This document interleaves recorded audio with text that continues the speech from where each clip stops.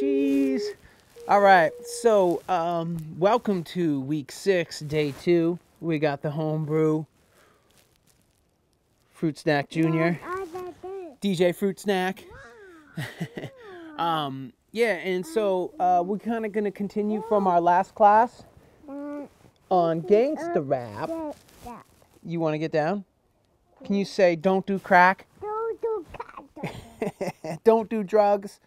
Do cat. Georgia. do, do crack, Jar Jar. Um, but anyways, in today's uh, unit, we are going to um, watch a film called Planet Rock, um, and referring to rock cocaine, the story of hip hop in the crack generation, narrated by Ice T. Okay, so I got some pre-viewing questions for y'all.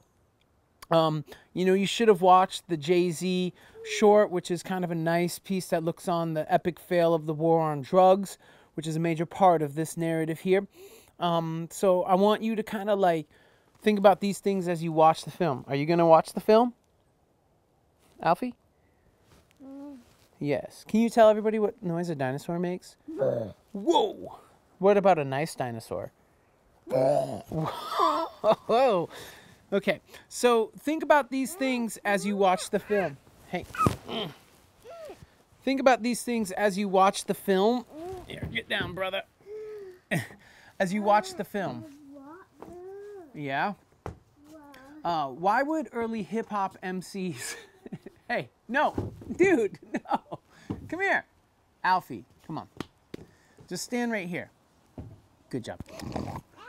Okay, why would early hip hop MCs accept, embrace, and envy the powder cocaine culture? Um, I mean, just think about, you know, you back to our first early units, you know, talking about, you know, people coming from, from nothing and the, and the, the, the socioeconomic conditions um, in the United States and a lot of urban America and the negative impact on black and brown people here, okay? Um, your head's on my mic, man. Mic check one, two. Get your head off my mic, brother. Alfie, please, no thank you. Come here. Sit down or go play with the kitties. Go play with the kitties. Okay. Oh, get the chick.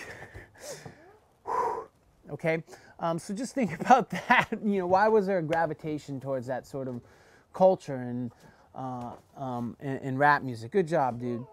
Um, yo, think about Tony Montana. They go into the Scarface character, Tony Montana. Why would he kind of become like a central figure in, um, you know, hip hop culture in so many ways and appeal? Why would that story appeal to so many artists and that film, you know, go on to, you know, influence people? I mean, you can think specifically of Scarface, uh, you know, the rapper from the Geto Boys.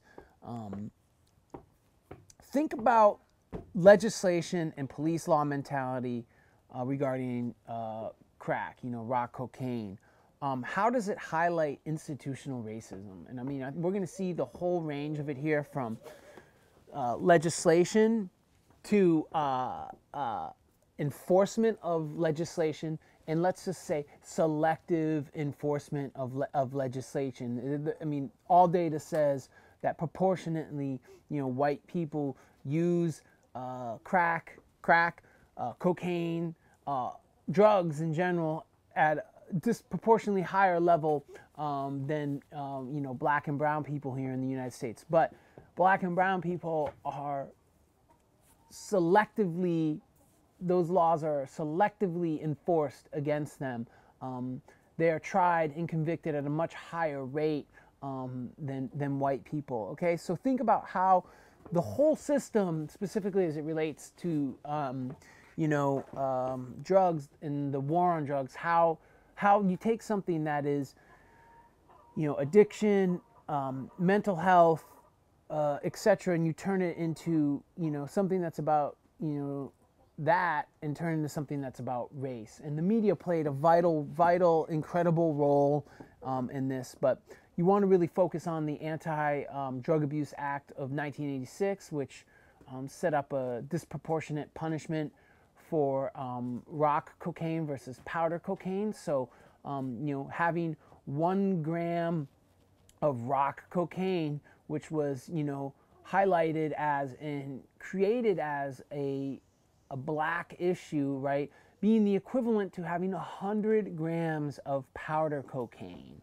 Um, you know, so that's a really important thing is, is the distinction there. And that distinction was used and manipulated in the media in the, the legal system here to basically put millions of black and brown bodies into these prisons, right, and filling beds, which fills pockets, right, the whole the whole thing there.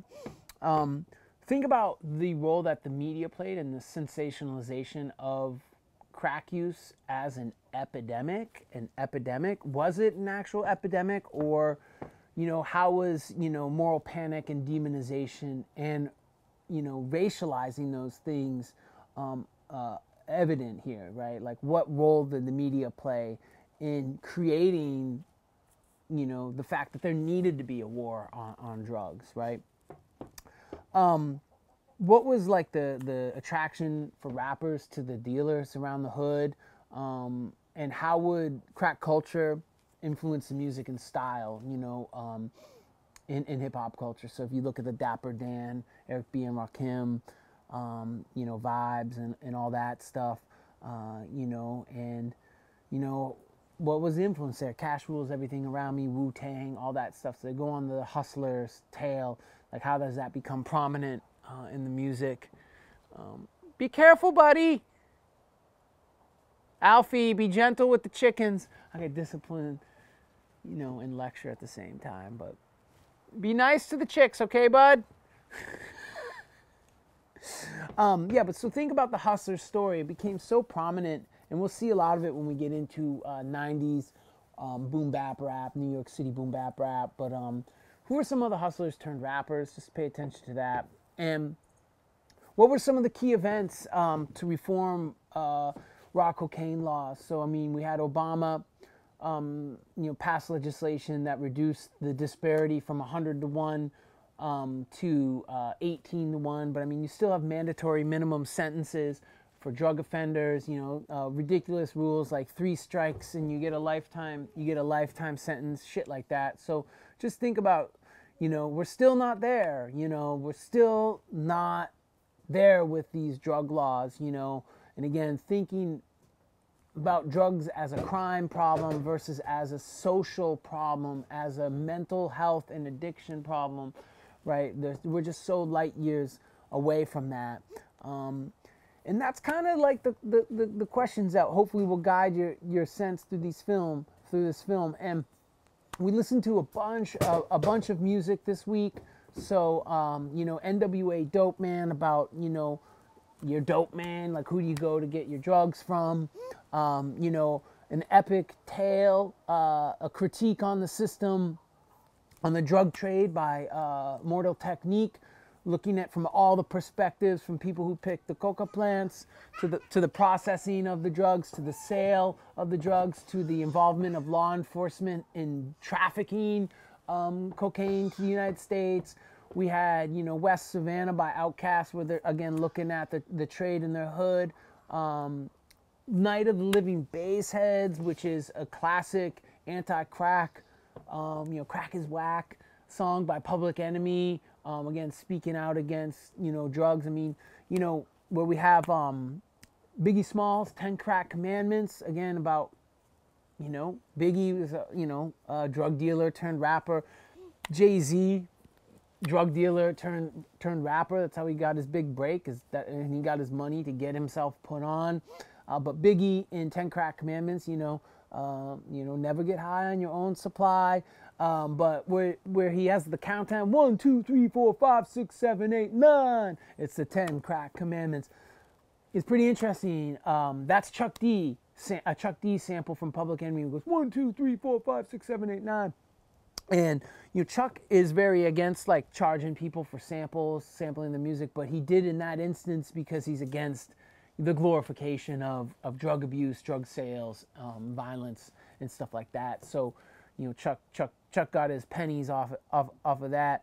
Um, you know, so a lot, you know, the Pusha T song, um, Pusha T.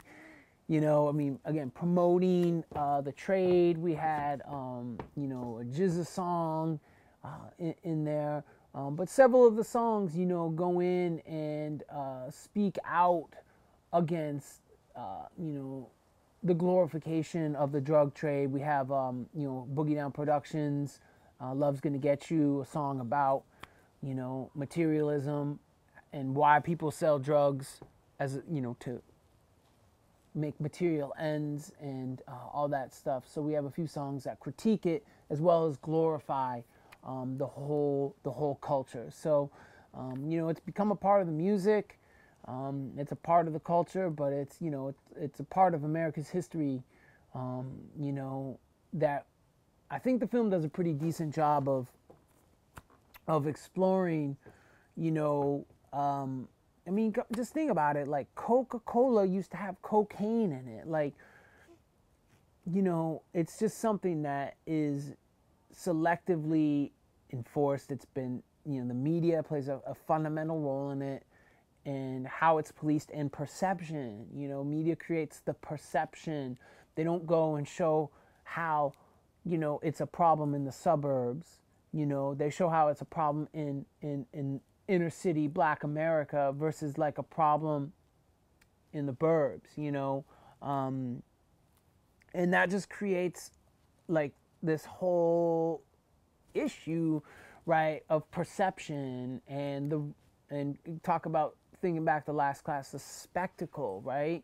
Like the media grasp onto these these fucked up things, um, like murder, violence, all this the, the, stuff that's sensationalized, you know, and they run with it, you know. So that was a, a thing that's been prominent since the 80s. But I mean, the 80s, you know, was the the the, the whole crack epidemic epidemic thing, you know, was a major, major, major um, attractant, you know, for viewers, you know, and and in many ways glorified it, you know. So, um, anyways, all right, check out the film. Um, we're not going to have any post viewing discussion. I think you can you, you, can glean enough from watching the film and understand a little bit about the relationship here um, and and you know hip hop's sort of you know duality when it comes to um, drugs and drug trade and you know the the promotion of the glorification of the stories of and also the demonization of of of of the drugs and the trade and and and um, and, and the media coverage and all that. All right, so we'll check you next week um, when we we dig deeper into hip hop history and hip hop music. Real Dr. Dre, DJ Food Stamp. I'm out. Peace. Gotta go find my son.